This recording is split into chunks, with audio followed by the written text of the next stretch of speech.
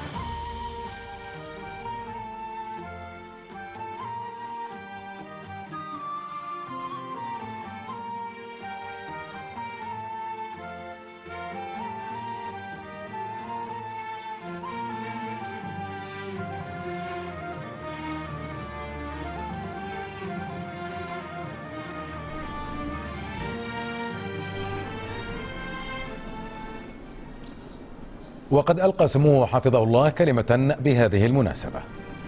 بسم الله الرحمن الرحيم. معالي الأخ الشيخ محمد خالد الحمد الصباح نائب رئيس مجلس الوزراء ووزير الداخلية. سعادة الأخ الفريق سليمان فهد الفهد وكيل وزارة الداخلية. أخواني وأبنائي قادة وضباط ومنتسبي وزارة الداخلية. السلام عليكم ورحمة الله وبركاته. إنه من دواء سروري أن ألتقي بكم أنا وأخي سمو ولي العهد الشيخ نواف الأحمد جابر الصباح والأخوة المرافقين في هذه الليلة المباركة من ليالي شهر رمضان الفضيل. لنبادلكم التهاني بحلول شهر رمضان المبارك. سائلين المولى أن يعيده علينا جميعا وعلى وطننا الغالي والأمتين العربية والإسلامية بوافر الخير واليمن والبركات. وأن يتقبل صيامنا وقيامنا وصائنا ويديم على وطننا نعمة الأمن والأمان. أخواني وأبنائي يشرفني أن يكون في معيتي لزيارتكم معالي الشيخ مشعل أحمد نائب رئيس الحرس الوطني وسمو الشيخ جابر مبارك الحمد رئيس مجلس الوزراء. إخواني وأبنائي تمر منطقتنا كغيرها بظروف دقيقة ولا سيما ما يتعلق منها بالجوانب الأمنية مما يلقي على كاهل رجال الأمن وعلى أجهزة وزارة الداخلية المختلفة مزيد من المسؤولية ومضاعفة الجهد والعطاء لمواجهتها وزرع مخاطرها حفاظا على أمن البلاد وتعزيز التواصل مع المواطنين والمقيمين تجسيدا لروح الأسرة الكويتية الواحدة بما ما تتسم به من تكاتف وتعاون وتعاضد والوقوف وجه كل من تسول له نفسه. العبث بأمن الوطن واستقراره أو المساس بمكوناته الاجتماعية وإثارة الشغب والفوضى فأمن الوطن والحفاظ على جبهته الداخلية ووحدته الوطنية أمر يعلو فوق كل اعتبار. أخواني وأبنائي يشهد مجتمعنا مثل غيره من المجتمعات ظواهر سلبية لم تكن معهودة بحجمها فيما مضى ولكن تنامي نطاقها نتيجة اتساع الرقعة السكنية وزيادة أعداد السكان والانفتاح الإعلامي على العالم وتأثير وسائل التواصل الاجتماعي. ولعل أبرز هذه الظواهر التي تستحق العناية والإهتمام.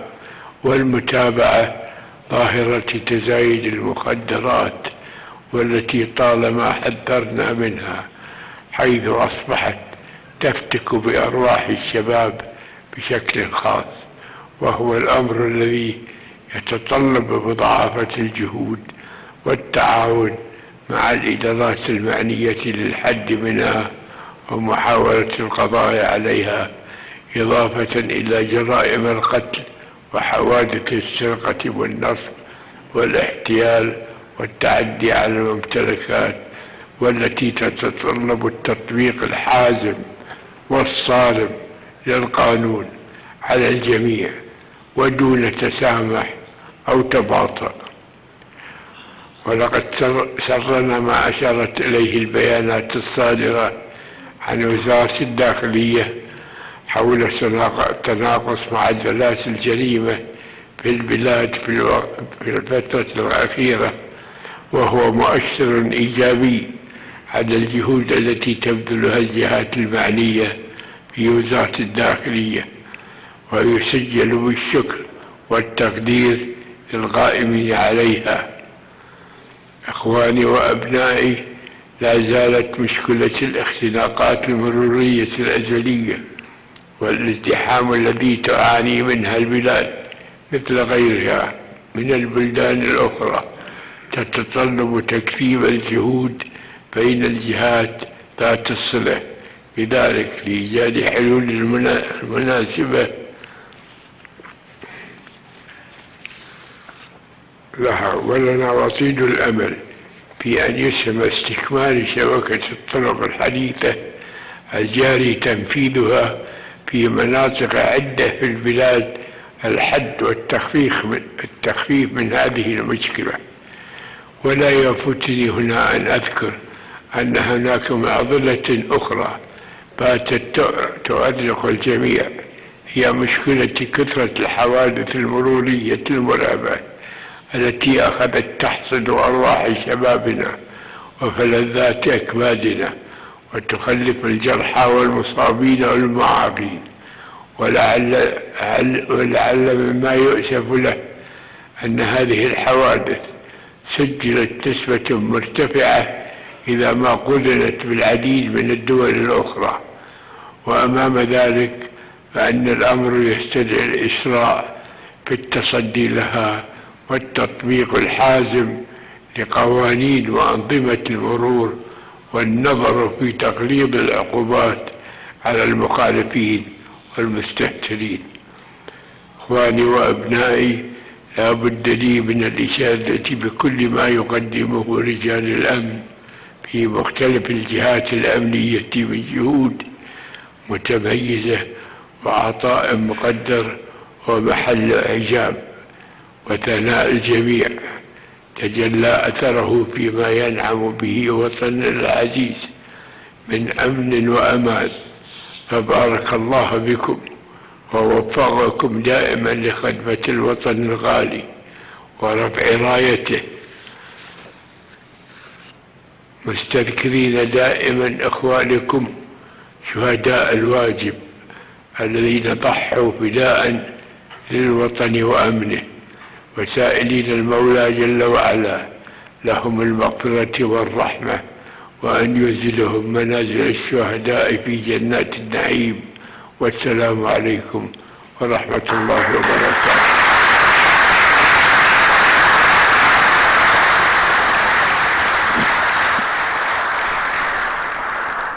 كما ألقى وكيل وزارة الداخلية كلمة بهذه المناسبة. بسم الله الرحمن الرحيم. سيدي حضرة صاحب السمو الشيخ صباح الأحمد الجار الصباح أمير البلاد المفردة حفظه الله ورعاه سيدي سمو الشيخ نواف الأحمد الجار الصباح ولي العهد حفظه الله. سيدي معالي الشيخ مشعل أحمد الجار الصباح نائب رئيس الحضر الوطني الموقر سيدي سمو رئيس الشيخ سيدي سمو الشيخ جابر مبارك حمد الصباح رئيس مجلس الوزراء حفظه الله معنا الضيوف الكرام السلام عليكم ورحمة الله وبركاته. تحية تقدير تحية تقدير واكبار لسموكم الكريم والحضور الكرام حيث اعتاد ابنائكم قيادات وزارة الداخليه رعايتكم السامية لهذه اللقاءات الطيبة التي تجمعنا في مثل هذا الوقت من كل عام تجسد بصدق مبدأ التواصل بين الأب القائد وأبنائه والتي نستلهم منها مضاعفة الجهد والعطاء مستنيرين بتوجيهات سموكم لتظل المؤسسة الأمنية تستضيف بحكمتكم قائدا ومعلما ومرشدا. سيدي حفظكم الله ورعاكم. ومنذ تشريف سموكم شهر رمضان من العام الماضي اسمحوا لي أن أعرض في لمحة سريعة موجزه ما حققته وزارة الداخلية على صعيد رفع كفاءات ومعدلات الاداء الأمني حتى يومنا هذا. انخفاض معدل الجريمه. حققت وزارة الداخلية انجازا واضحا بخفض معدل الجريمة وذلك بفضل التغيير النوعي في الضبطيات والحملات الأمنية الاستباقية التي تتسم بالمهنية العالية وروح المبادرة والحس الأمني. حيث انخفضت الجريمة بنسبة 9% عن العام الماضي وجرائم الجنايات بنسبة 18% والقضايا المسجلة ضد مجهول بنسبة 28% وقلت جرائم المخدرات من التعاطي والترويج والاتجار بنسبة 17%. وقد تم تحقيق المعدلات القياسية بالتطبيقات بلغت من 7000 قضية وأكثر من 2000 متهما تقريبا. وهذا إنجاز بارز يفرض علينا مسؤولية مضاعفة نحو الاستمرار والعمل الدؤوب لخفض معدلات الجريمة وحماية المجتمع. ترشيد الإنفاق وتخفيض المصروفات. تنفيذا لتوجيهات السامية بتخفيض المصروفات وترشيد الإنفاق دون الإخلال بالمتطلبات الأمنية أدت سياسة الترشيد إلى وفر مقداره 32 مليون تقريبا في الميزانية السنة الماليه الماضية. والجدير بالذكر أن عملية تحديث العمل الأمني وتفعيله لم تتأثر بسياسة الترشيد. حيث تم توجيه هذا المبلغ للأعمال الأمنية مباشرة. كما كانت هناك متابعة وتحصيل مبلغ 140 مليون عن مخالفات مروريه عن العامين الماضيين. وكذلك التحصيل الآلي حوالي 26 مليون خلال السنة المالية 2015 و2016 بنسبة زيادة 57% عن السنة السابقة. أما في مجال الاستغناء عن المباني المستأجرة أدت سياسة الترشيد لتوفير مقدار مليونين دينار من المباني والمنشآت الأمنية المستأجرة للسنة المالية الحالية بالتعاون الوثيق بين قطاع شؤون الخدمات المساندة وقطاع الشؤون المالية والإدارية من خلال مشاريع تم إسلامها وهي مبنى مديرية أمن الجهراء مبنى شؤون إقامة الأحمدي مبنى شؤون إقامة الفربانية مبنى شؤون إقامة الجهران إدارة تراخيص مرور مبارك الكبير إدارة تراخيص مرور الأحمدي مركز ومعهد تأهيل والتدريب في أمن الدولة ومركز خدمة المواطن في منطقة الصديق ومركز خدمة المواطن في إدارة شؤون المتقاعدين كما يوجد بعض المخافر النموذجية تم إنشائها وهي مخفر الدسمة ومخفر صباح الأحمد ومخفر السلام ومخفر شبيب الخطة الاستراتيجية لوزارة الداخلية. باشرنا في تنفيذ الخطة الاستراتيجية لوزارة الداخلية لعام 2015 و2018 وقطعنا خطوات واسعة تهدف إلى أن تكون دولة الكويت من أفضل العالم أمنا وسلاما ويتم ذلك من خلال عدة محاور وهي مباشرة الأجهزة الأمنية بالوزارة ابتعاث عدد من القيادات الوسطى إلى جمهورية مصر العربية ومملكة الأردن الحاشمية وجمهورية ألمانيا وسنغافورة وكذلك إبرام بروتوكول أمني تدريبي مع المملكة المتحدة لعقد دورات المحلية الأمنية بعدة تخصصات بهدف تأهيلها لتولي المناصب القيادية. والعمل بقاعدة البيانات والإجرام المحلية والدولية للمطلوبين والملاحقين أمنيا مما يتيح للأجهزة الأمنية سرعة الوصول للمعلومات الجنائية والإرهابية. ولتفعيل مشاريع القيادة التنسيقية لحماية الأمن الداخلي تجسيدا للعمل, الأمني المشترك بين الجيش والشرطة والحرس الوطني. فقد تم اعتماد تنفيذ مبنى القيادة التنسيقية هذا العام وأحداث التفاعل والتكامل الميداني في ظل التطورات الاقليميه الراهنة التي تشهدها المنطقة. ولتعزيز التكامل رسالة إعلامية. الأمنية قد تم تجهيز استديو متكامل ومركز منتاج لتغطية الأحداث الأمنية وأحداث متنقلة والاستعانة بالبيوت الخبرة. المتخصصة وضباط الارتباط وكلها تهدف لزيادة فعالية التواصل العام مع الجمهور وغرس الثقة بالأجهزة الأمنية المختلفة وبأدائها. رفع الأداء الأمني ودعم المنظومه الأمنية. تامينا للمياه الأقليمية تم استلام وحدتين عالميتين وجاري توريد وحدتين آخرين في قصص من العام الجاري كما تم استلام ثمان ضرارير اعتراضية من أصل 29 سيتم استلامها تبعها. تعزيز القطاع شؤون العمليات. تم اقام عقد شراء عدد أربع طائرات هليكوبتر نوع ايرباص هليكوبتر وسوف تدخل الخدمة تباعا من شهر يوليو 2017. وكما تم إنشاء وتجهيز غرفة اتخاذ القرار لتمكين القيادات العليا من متابعه وإدارة الأحداث الأمنية وسوف يبدأ العمل بها اعتبارا من يوم الجاري. الدوريات الجديدة للشرطه. دخلت إلى الخدمة 2700 دورية امنيه ومروريه سنة 2015 وكما تم في مارس الماضي استلام 883 دورية جهزت وانضمت للخدمه تباعا و550 دورية أخرى تابعة لدار العام للمرور والنجدة ومديريات الامن. وتجهيز 220 دورية بنظام توثيق أعمال الدوريات مزودة بالكاميرات والرادارات وأجهزة كمبيوتر لتسجيل الاحداث داخل وخارج الدورية والتقاط الارقام المركبات المتحركه من عدة زوايا والتنبيه ورجل الأمن بالتعامل حسب طبيعة الموقف ووفقا طبيعة التحليل والتسجيل على الشاشه الالكترونيه الدوريه. وباشرت الدوريات التي تم تحديثها وفق أحدث المواصفات العالمية لدوريات الشرطة والأمن العام والمنافذ والخدمات الأمنية الأمنية العمل الميداني بما يواكب التطور التقني في الدوريات الحديثة.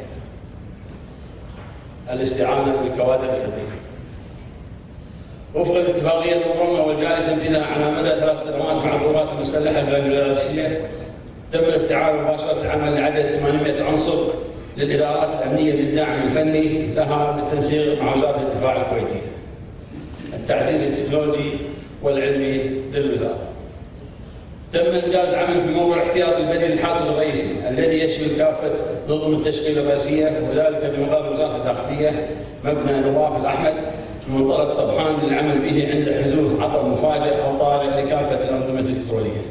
وفازت وزارة الداخلية بالمركز الأول وحصلت على جائزة أفضل برنامج خدمي على الأجهزة الذكية في المسابقة التي نظمتها مملكة البحرين على نطاق مجلس التعاون الخليجي في مجال تطبيقات الايفون للخدمات الإلكترونية وكذلك الحصول على درع الحكومة الذكيه على مستوى الدول العربية. وكما تم ربط المنظومة الإلكترونية للأحكام الجزائية والتي تشمل الأحكام الجنائية والمدنية والغرامات الماليه بالتعاون مع النيابة العامة بهدف إقامة ربط مباشر في تنفيذ تلك الأحكام التي بلغ عددها 130 ألف حكما إلى الآن تقريبا وسوف يتم ربط الأحكام المدنية مع وزارة العدل اعتبارا من يوم الماضي. وفي مجال في مجال الانجازات العلميه حصلت الدكتورة مريم عبد الرحمن مرزوق الاداره العامه للأدلة الجنائيه على براءة اختراع لمعالجة أمراض السرطان ولها الكثير من الشغلات العلمية المتقدمه لهذا الاختراع. الرعاية الصحية المنتجه بوزاره الداخلية. تم توسعة وتجديد مستشفى أكاديمية سعد عبد الله والعلوم العلمية يشتمل على جميع التخصصات المطلوبة وزيادة السعة السريرية إلى 40 سريرا لاستيعاب أكبر عدد من المرضى والبدء في إنشاء نواة لأكبر مركز علاج طبيعي علما بأن المستشفى يضم كافة التخصصات الطبية وهي العظام والقلب والأمراض النفسية والعصبية والجلدية والأسنان والعلاج الطبيعي والطب الرياضي والأشعة. المكتبة المركزية الإلكترونية تم إنجاز وضع النظام الأساسي للمكتبه المركزيه الإلكترونية والشرائح المستهدفة ونأمل بإذن الله التشغيل الفني الأولي مع بناء السنة الماليه القادمة والتي تتماشى مع أحدث النظم المعتمدة التي تكون بمصاف أحدث المكتبات المهنية ذات الصله بشتى العلوم المعرفة الإلكترونية. التشريعات والقوانين الجديدة لبنوك وزارة الداخلية متابعة تنفيذها. قانون تنظيم وجمع الأسلحة والذخائر بعد نهاية مدة أربع شهور في 22 6 2015 تم تأجيل المرحلة الثانية ضبط الأسلحة والذخائر غير المرخصة من بداية تطبيق القانون الفعلي حيث تم ضبط 400 شخص و700 قطعة سلاح وتحريز 40 طن من الذخائر من خلال تفتيش الشوارع والطرق لجميع مناطق البلاد والمنازل المشبوهة. ولا تزال جهود وزارة الداخلية مستمرة لتطهير البلاد من أي أسلحة غير مرخصة. قانون حماية البيئة بعد صدور قانون حماية البيئة انشات وزارة الداخلية إدارة شرطة البيئة وتختص مراقبة الأفعال والتصرفات التي تشكل انتهاكا للبيئة بعناصرها البريه والبحرية والجوية واتخاذ الإجراءات اللازمه للقياده. وقامت شرطة البيئة بحوالي 1300 مهمة تقريبا ما بين دوريات إقامة بيئية تحرير محاضر التعهدات وحجز مصادره قضائية. وتعد دوله الكويت الأولى في هذا المجال بين دول مجلس التعاون الخليجي المطبقه لقانون حماية البيئة وبنوده المختلفه وهي الرائده على مستوى الشرق الأوسط لتطبيق لوائحها الاجرائيه والتنفيذية. قانون البصمة الوراثية بعد اعتماد مجلس الوزراء المؤقت تنفيذا لقانون البصمة الوراثية تم رصد الميزانيه لهذا المشروع على مدى خمس سنوات وتم تخصيص مبنى في مديريه أمن محافظة حولي مساحته 2000 500 متر مربع المختبر الرئيسي للبصمة الوراثية وجاء التعاون مع شركات متخصصة لتنفيذ المشروع وتجهيز المبنى المختبر وتأهيل الكوادر الكويتية الفنية المتخصصة وسيتم العمل به وفق برنامج زمني لجمع العينات اعتبارا من شهر أغسطس المقبل الجواز الإلكتروني. تم إنجاز مشروع جواز إلكتروني حيث توفر فيه المواصلات الامنيه ذات الدقة والتقنية العالية لتوريد مليون و100 ألف جواز إلكتروني والمتوقع عمل به في شهر سبتمبر القادم. وفي مجال وفي مجال الحوادث المرورية بدأت وزارة تطبيق نظام نهاء الدعاوي حادث حوادث مرورية بسيطة إلى ضباط المرور والحوادث المجهولة إلى ضباط العام منذ تاريخ 16 8 2015 وربطها بشركات التأمين مما لاقى استحسان المواطنين والمقيمين من تيسير إنهاء الدعاوي الخاصة بهم. سيدي حفظكم الله ورعاكم إن زيارتكم الساميه هي وسام عز وشرف على صدورنا جميعا. تزيدنا فخرا واعتزازا. بالثقة الغالية ضارعين الله العلي القدير أن يكلأ اسمكم برعايته وعنايته وأن ينعم عليكم دوام الصحة والعافية. وأن تظل كويتنا العزيزة في ظل رعايتكم العليا الحكيمة. واحة للأمن والرخاء. معاهدين أن يظل أبنائكم رجال الأمن. أوفياء للعهد مستدلين بتوجيهات الغالية وسائرين على خطى سموكم للحفاظ على أمن وأمان بلدنا الغالي الكويت وسيادة القانون على هذه الأرض الطيبة. والسلام عليكم ورحمة الله وبركاته.